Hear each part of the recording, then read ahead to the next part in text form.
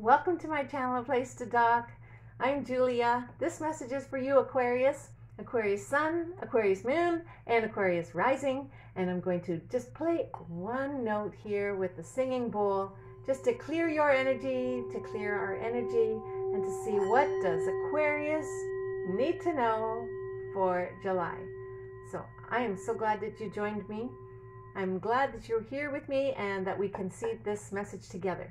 So thank you. And what we're going to do is use the Salt and Sea Energy Oracle. And I've been shuffling already for Aquarius. And then we're going to use the Mystic Dreamer Tarot. And I'll shuffle it one more time as well. And ask what does Aquarius need to know? And then we're going to use the uh, Art Nouveau, Nouveau, I'm not good at French. Here we have Art Nouveau and it is a Lenormand deck, which is different than Tarot or Oracle decks. So we're going to use all three, and we'll see what message can come out for Aquarius. Okay, so let's start. I'm excited to see what does Aquarius need to know for July. And this is a lovely deck with water and sky and sea, and it's just lovely. I love it. Okay, this, oh, you know what? Yeah, this is it. Okay, sea urchin. Maneuver with tenacity and be methodical. Maneuver with tenacity and be methodical. Okay, and now I'm going to say two other cards kind of wanted to come out, so I'm going to read, oh, three. I'll just read them all. All right. So we also have tsunami. Now is the time to confront your stressors. What are you avoiding? Okay, what are you avoiding there? And then we have another one, the dolphin. It says embrace your inner child. Okay, awesome. Embrace your inner child. Oh, and the next one is sea glass. Your future is being rewritten. A time for deep healing. All right, this month of July is going to be deep healing for Aquarius.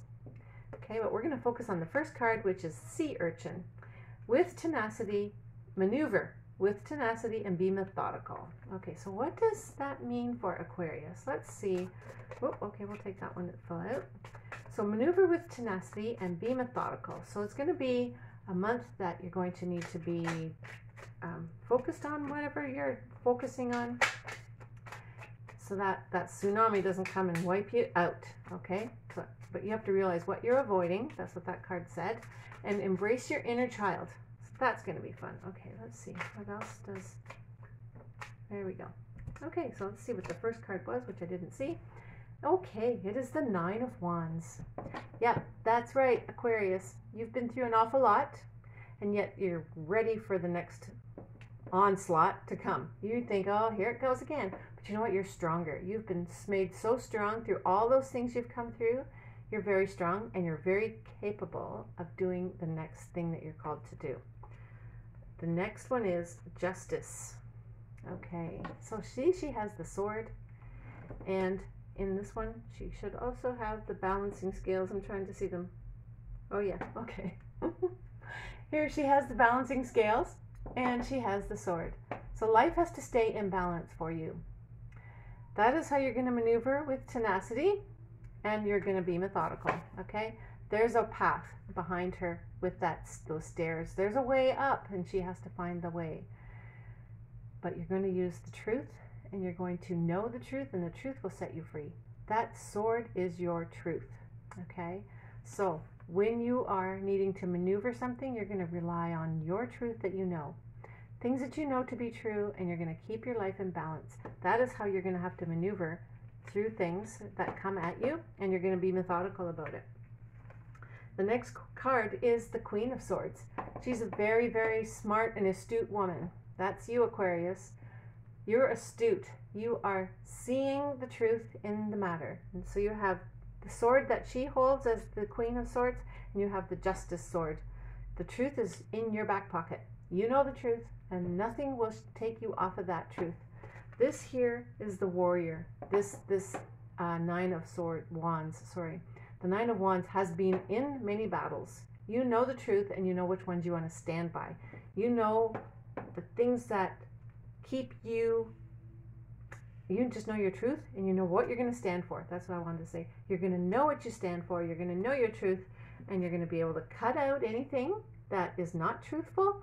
You're going to take that sword and say, No, I don't want this in my life anymore. Or you're going to prune things that make you stronger. And that way you can maneuver.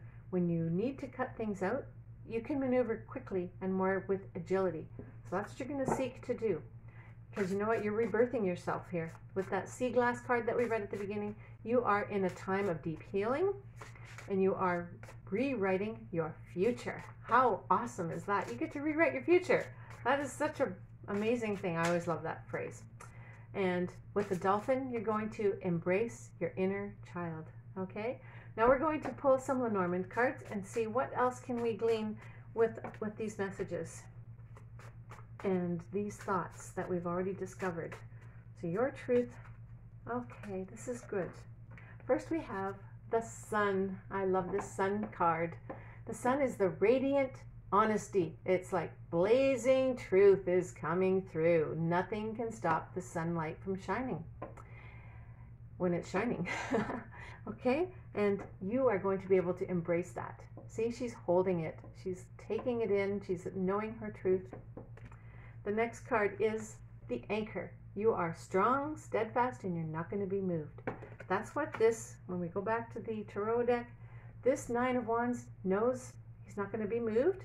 Things are not going to move him or sway him. He knows the truth, and the truth is going to come through and help you manipulate and maneuver with tenacity by being methodical. That's what you're aiming for this month.